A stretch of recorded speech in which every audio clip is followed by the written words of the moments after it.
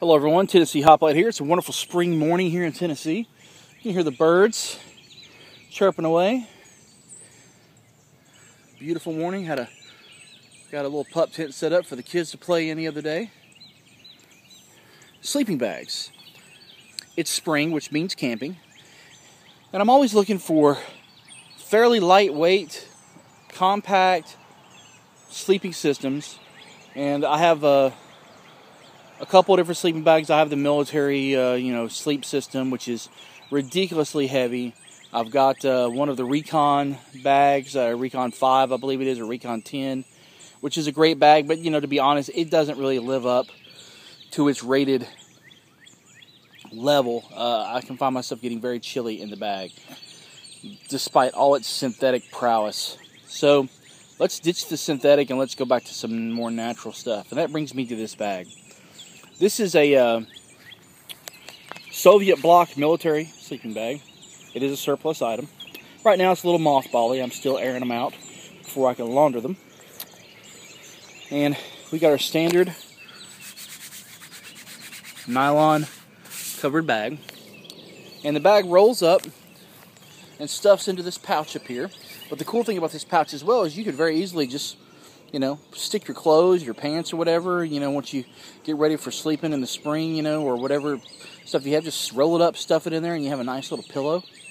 But also, the sleeping bag rolls into this top as well. So basically, this is the, you know, integrated system for storing the bag. Very cool. But one of the things I think that really sets this bag aside, and a problem I have with most modern sleeping bags, is the ability to launder the bag. Um, I do not like not being able to launder a sleeping bag. So this bag is very different in that this is a shell, and inside we have a linen layer. This feels like it's just cotton, a nice cotton linen bag, and it all buttons together at intervals. And then also we have a wool blend blanket. This may actually be wool, but it feels like it's probably a wool blend. So um, we have this and this, and we have components that can be separated from the bag via buttons and laundered. And you know what? If you want to be crafty, there's no reason you couldn't grab one of those surplus 100% wool Italian military blankets or some of the Russian gray surplus blankets that are out there for 12 and 15 bucks out there and sew some buttons on it and make that into a liner as well and have another layer to stack into this thing and make this into a total winter setup as well. I think this will actually be perfect for a real cool dipping down into the 40s spring night uh, scenario. Uh, we wanted to try those on our camping trip this weekend, but because of the mothball, probably not going to be able to. I just got these in, so uh, I got some airing out to do. Once uh, these guys are all aired out and laundered, then you know I'm gonna spend a night in the backyard with my daughter. We'll have a little backyard camp out, and we'll see test these guys out and see how they do. I'll update my video or maybe make a new one at that point. And I'll also add the weight and things of that nature to the video. Because right now they're airing out and uh, I haven't had time to weigh them yet. So, but anyway, these are the bags. Very inexpensive, can be had for under $20 on most websites. I've seen some sites as cheap as $15. I got these for like 12 on eBay. Um, very pleased with them. These look brand new, like they were never issued.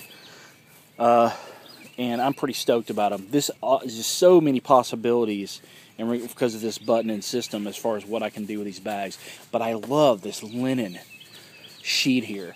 There's so many nights in the summer that you know we just sleep with just the sheets and stuff and fans because you know like right now it's barely dipping to the 80s and during the day so the house warms up but it's not really warm enough to run the air conditioners and it takes a while in the evenings for the house to cool down so you lighten up on the covers this is just cool I'm so excited about this. But anyway, um, Tennessee Hoplite, just want to give you a little review of these bags, really show them to you because on the internet I'm not seeing a lot about about these bags. No one's really, I found like one or two little videos, but really just wanted to show you these bags because they're starting to go away. I remember Sportsman's Guide a while back had them on there.